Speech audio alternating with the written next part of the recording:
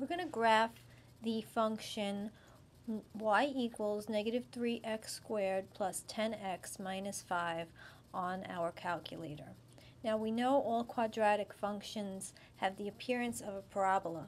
So when we graph this, we should notice that um, the graph comes out looking like a parabola. We're going to start graphing any function by putting ourselves in the standard zoom. So we hit zoom. We can either press 6 or scroll down to number 6 and hit enter and that will bring us to the standard zoom. And when you're in standard zoom we have um, 10 notches or rather I'm sorry we go from negative 10 on the x-axis to positive 10 and then we go from negative 10 on the y-axis to positive 10 and if we press the window key here we can verify these are our standard zoom settings um, negative 10 to positive 10, x min, x max, negative 10 to positive 10 on uh, y min, y max, and x scale equal 1, x, y scale equal 1 is going to tell us that each notch on the axis represents one unit. Okay, so we're going to press y equals, and here's where we always put in our function. So we're going to put in negative 3 x squared plus 10x minus 5. And a couple things you want to make sure that you do. Um, if you if you've never seen the X key on the calculator, it's right here below the mode key.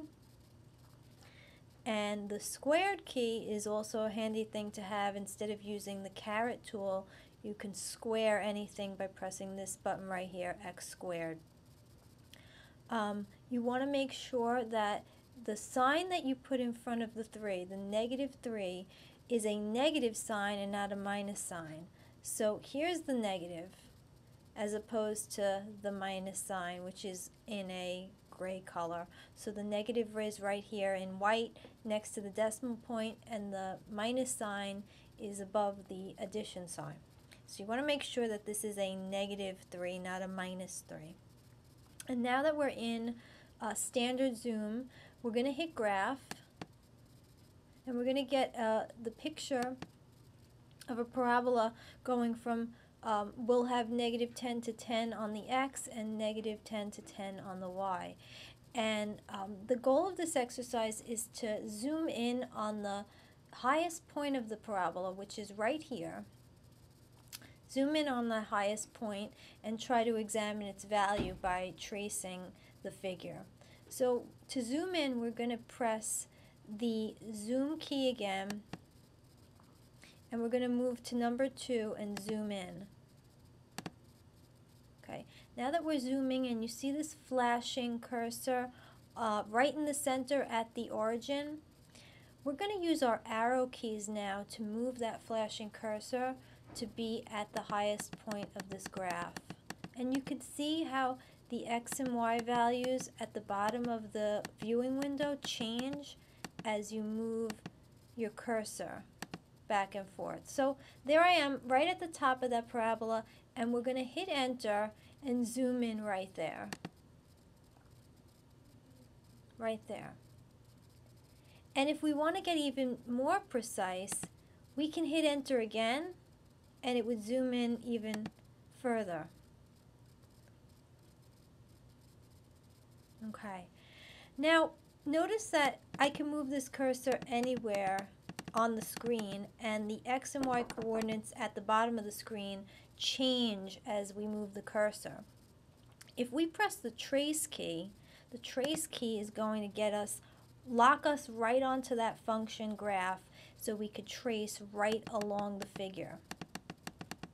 So as we trace along the figure, you can see the x and y values at the bottom of the screen change. Those are the ordered pairs that are solutions to this function. Now, let's try to find the maximum point, the height, the highest point of this graph. Using this, the arrows front and back, um, I mean left and right, we're going to navigate so that our y is at its highest point. So if you if you see um, y equals 3.330 here, and if I move a little bit more to the right, it's 3.332. There it gets to leave even a little higher, 3.333. And then it goes down again. So right here, 3.333, that seems to be the highest y point, and the highest x that goes along with it is x point at 1.662234. And if we round that to the nearest tenth, we have the ordered pair 1.7 comma 3.3